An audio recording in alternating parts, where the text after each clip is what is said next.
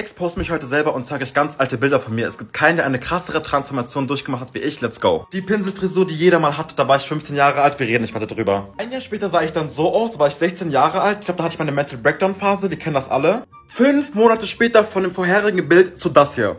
Ich weiß auch nicht, wie ich das geschafft habe. Ich wünschte, ich könnte auch mal so aussehen. Smash auf jeden Fall. Ich dachte, es kann nicht schlimmer werden. Doch.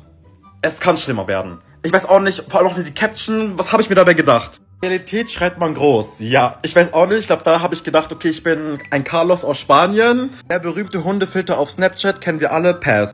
Passfoto ist auf jeden Fall das Schlimmste. Das hier, das bin einfach nicht ich. Da sah ich aus ein bisschen wie Kollega mit schwarzen Haaren. Ich wünschte, ich könnte das ändern.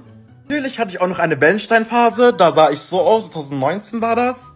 Das war ein ganz okay Bild. Ich glaube, nicht mehr so krassen Vollbart wie jetzt. Vergessen, lange Haare hatte ich auch mal gehabt. Ich glaube, jeder Junge kennt diesen Struggle, lange Haare wachsen zu lassen. Ist einfach Pain.